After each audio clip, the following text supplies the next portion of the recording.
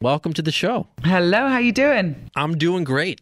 I'm just really excited to meet and, and speak with you today. Thank you so much. Thanks for supporting. I absolutely do support. And before you came on, I was talking about this other film called The Woman, and I didn't realize that that's tied into your your new movie, Darlin. So I'm excited for it. Oh, fantastic! Yeah, it's.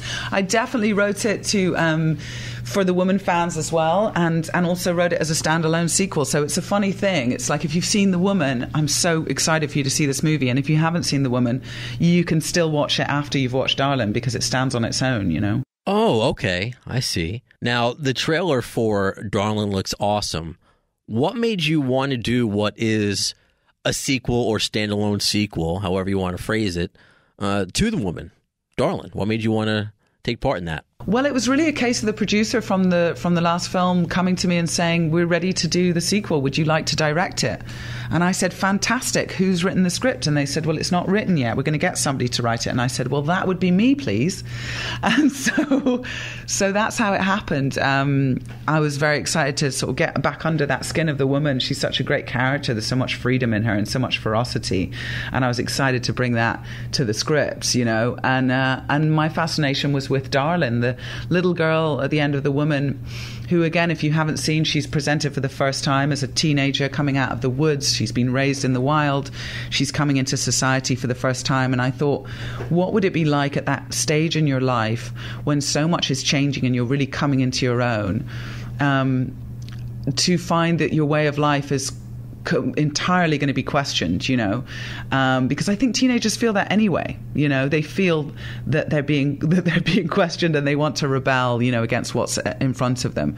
And so I just thought it was an exciting time in her life to bring her out of the woods and bring her into society and see how she how she fared there. Something I, I noticed from the trailer and gives a, a unique spin to this follow up is I, I, saw Jerry from The Walking Dead. Yeah, Cooper Andrews plays Tony, this nurse in the hospital, and he's really kind of like a father figure to Darlin in the film. Um, he's incredibly warm in it, and what a fun guy to work with. He's just a, a dear friend. Um, but we've also got Tamiel and Brion as well from Jadis's Junkyard. Um, Jadis's right and left on The Walking Dead. They're also in the film, playing a prostitute and a cardinal, respectively. Um, so it's it's a bunch of Walking Dead family together. Yeah. So I'm curious. Of course, many know your, your face from being an actress, but as you mentioned on this new film, Darlin, you are directing it. You wrote it. So, as an artist, what do you prefer? The acting, the writing, or the directing? It's very hard to separate the three when you're doing all of them in the same project. But I'd say I never want to stop acting. That's you know that's a great love of mine, and I'll continue to play interesting roles where I find them. But being a director is is is just such a wonderfully challenging and exciting role. Um, you know, the role of leadership, of problem solving, of kind of shepherding a community of people, um, of getting the joy of seeing people's incredible hard work and talent and and you know bringing a film in on time. Even that's exciting to me. So uh, yeah i definitely uh, definitely feel like a storyteller from a director's perspective is something I, I could never give up now i've started.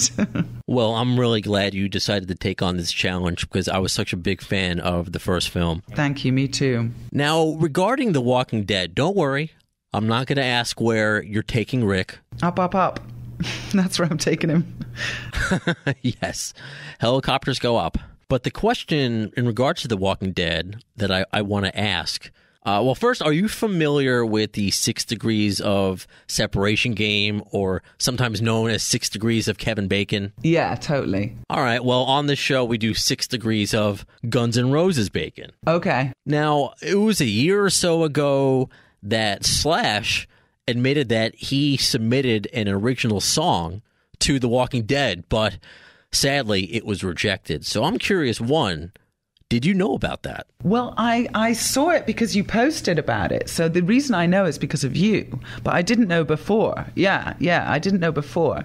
Um, So, because you know, I, I, I love a bit of social media and I love to see what's going on.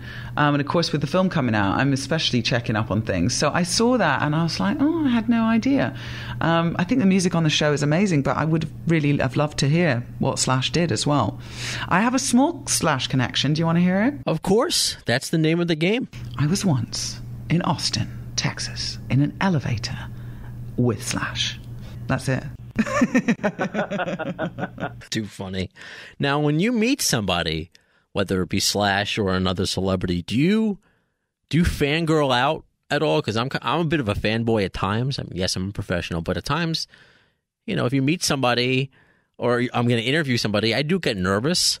So, is there anyone that you've kind of been starstruck before? Before? I think I'm probably like everybody else. You know, it depends on who you're seeing. Like, I'll never forget being at. I was at this event for Cloris Leachman's uh, 60th anniversary of her work a few years ago. Um, that wonderful character actor who's been in everything, and uh, and I and Dick Van Dyke walked in the room. Now this is a you know this is a much older man, and I, uh, uh, I was I was I had to lean against a wall I was so starstruck, and I didn't. I was. It was kind of unexpected, but I think with with with somebody like him, you know, there's just such a warmth about him, and there's such a connection to your childhood. You know, Chitty Chitty Bang Bang and Mary Poppins, um, and I just. I just I couldn't have possibly spoken to him. I mean, I could hardly stand up. You know, it was the same when I passed Sigourney Weaver in a back corridor of um, Comic Con a couple of years ago. I I literally just had to hold on to the wall because she's she's had such an influence on my life, you know? So I get the fangirl thing. I get being starstruck completely. Um, but I'm I'm not very likely to, to go and say hello. Um, like to leave people to do their thing. Uh, but I did see Henry Winkler in the lobby of a hotel in Miami the other day, and I did have to do a curtsy. Again, I didn't know I was going to do it, but that's what happened.